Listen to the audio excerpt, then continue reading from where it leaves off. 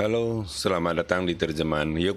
Kali ini kita akan menerjemahkan halaman 147 sampai 150. Ada tugas yang dikerjakan di halaman 150. Kita selesaikan nanti. Nah, kita lanjut. oh ya, di video ini juga akan menjelaskan bagaimana belajar yang efektif menurut buku ini, ya. Di mana petunjuknya kita lihat. Nah, ini dia. Kita terjemahkan terlebih dahulu, kita perbesar jadi 200 persen. Ya. Nah, kita akan dilatih oleh guru kita untuk mengucapkan kata kerja, kata kerja di dalam dalam empat bentuk yang berbeda, ya, empat bentuk yang berbeda, different, berbeda. Kita akan menggunakan seluruh, seluruh kata kerja ini yang ada di bab ini ya.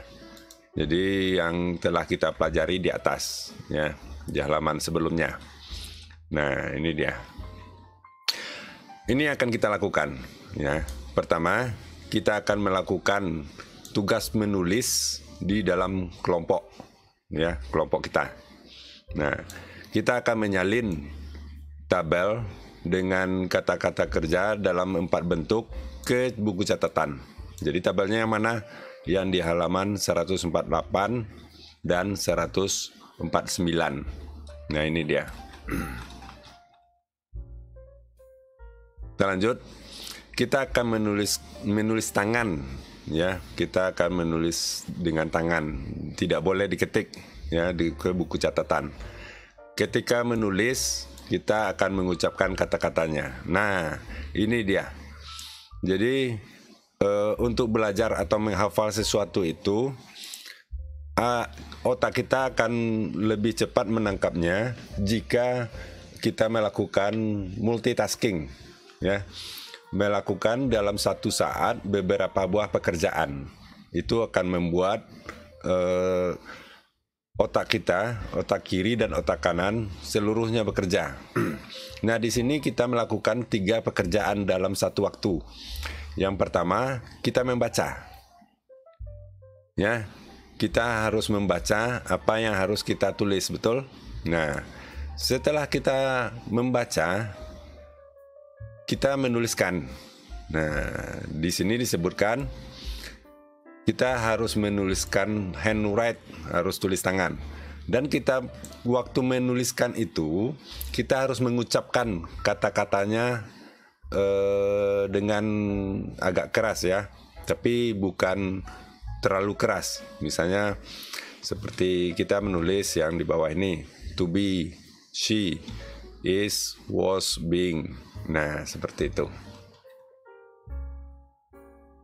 Jangan keras-keras ya jadi otak kita uh, kita melakukan tiga buah pekerjaan dalam waktu bersamaan nah itu satu.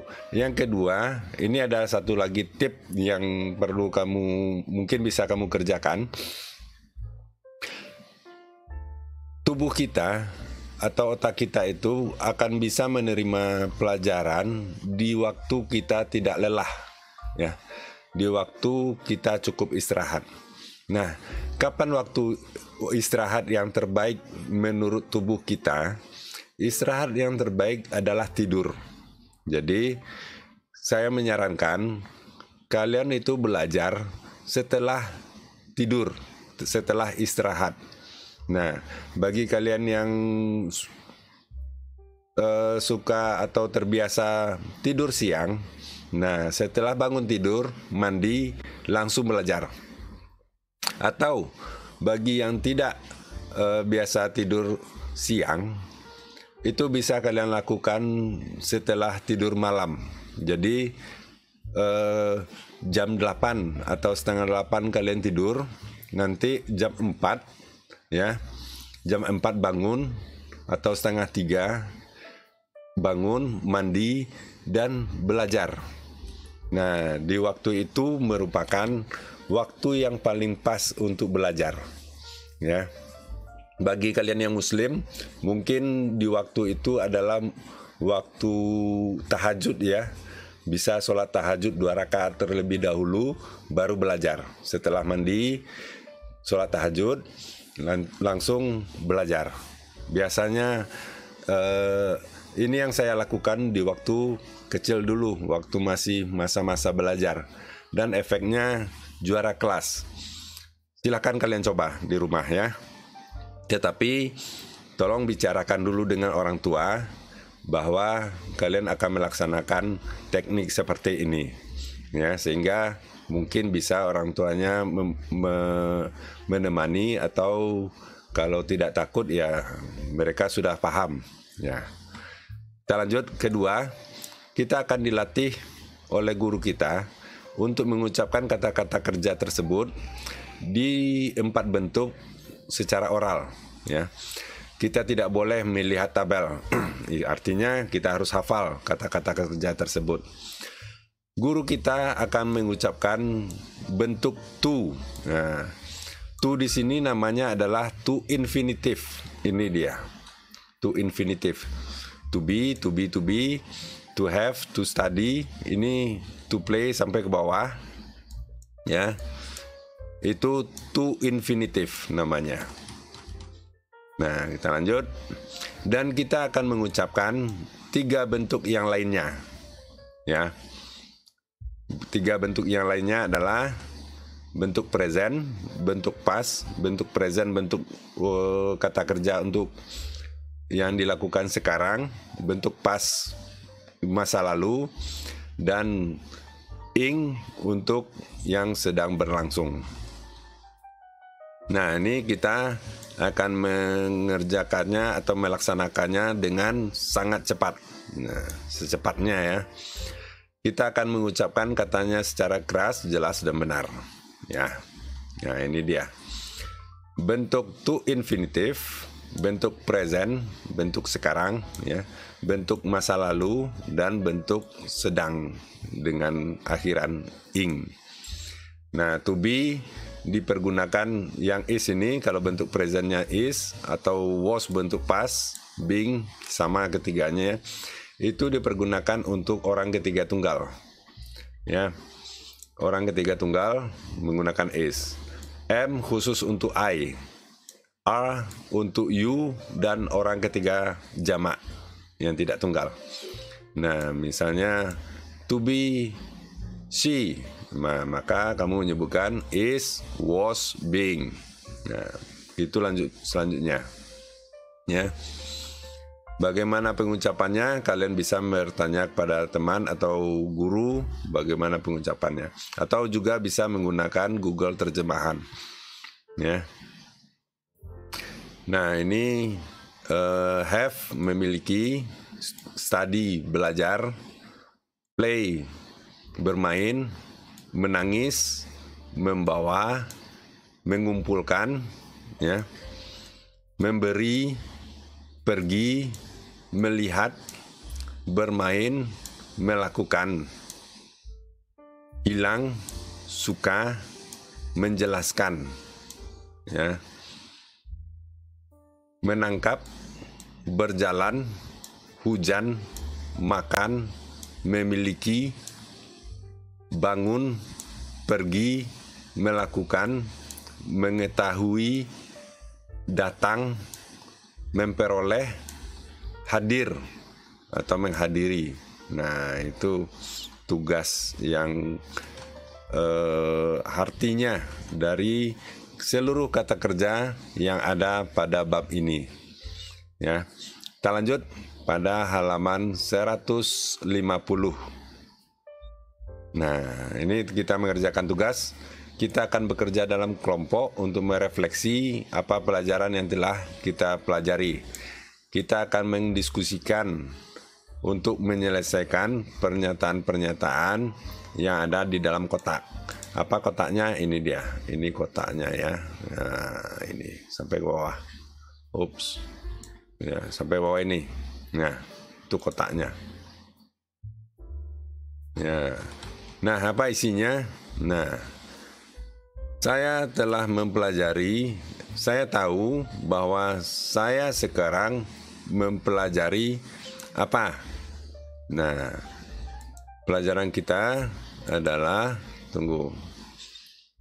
Uh, nah ini dia.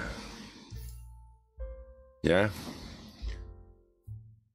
Express ya, express untuk mengekspresikan aktivitas dan keadaan di waktu lampau ya itu yang telah kita pelajari express activities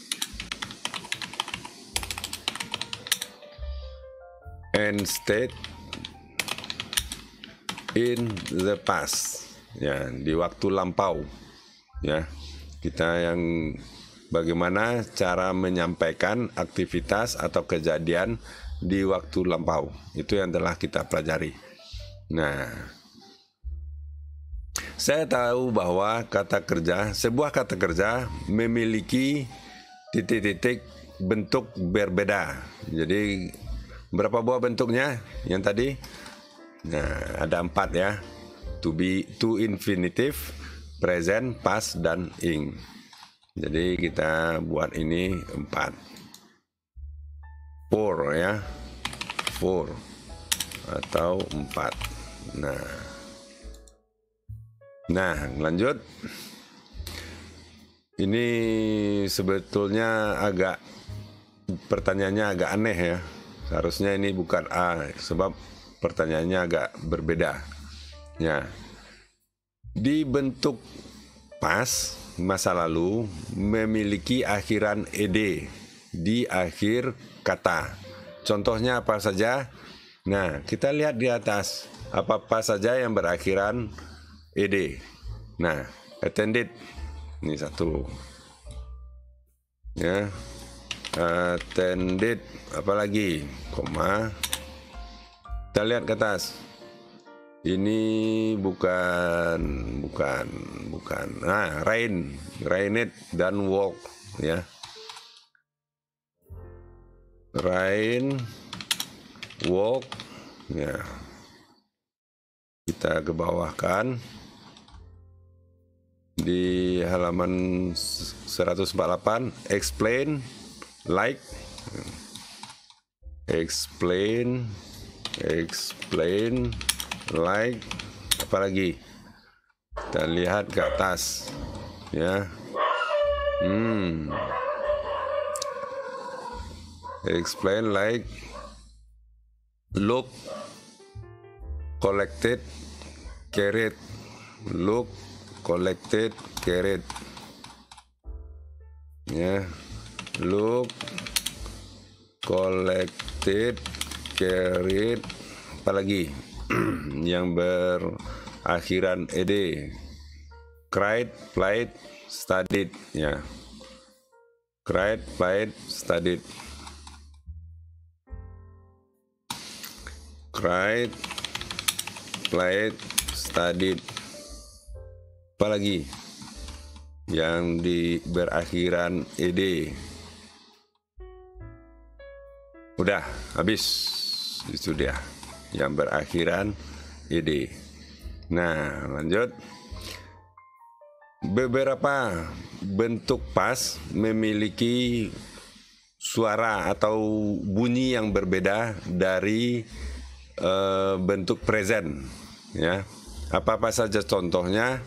Nah, kita lihat ke atas.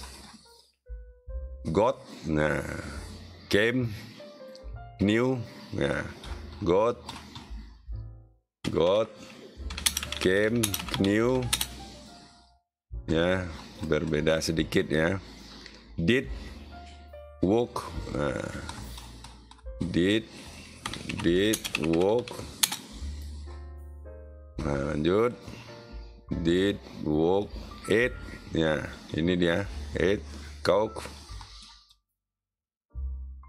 Eight coke. Apa lagi? Hmm, loss ya. Did. Nah, loss did. Loss did. Give. Nah, loss did give. lost, did, give. Nah, apalagi yang di atas? Lost, did, give. Book. Head satu, ya. Head satu. Nah, nah itu dia. Ya, komandan sedang bekerja. Nah, beberapa bentuk kata kerja masa lampau memiliki bentuk yang total keseluruhannya berbeda dari bentuk present. Contohnya, nah kalau di sini saya lihat cuma satu ya, go, ya atau when, ya, ya ini go, go mana dia, go, when, ya, cuman itu saja, ya, ya ini go when, ya itu saja ya. Nah, lanjut. Nah, dari sini saya tahu kita menggunakan bentuk pas untuk apa? Nah, an activity untuk menjelaskan aktivitas atau kejadian di masa lalu. Nah, kalau present untuk apa? An activity or a state at present. Nah, untuk masa sekarang. Nah, itulah jawaban dari halaman 150. Nah, mudah-mudahan bermanfaat. Jangan lupa subscribe dan like videonya. Sampai jumpa.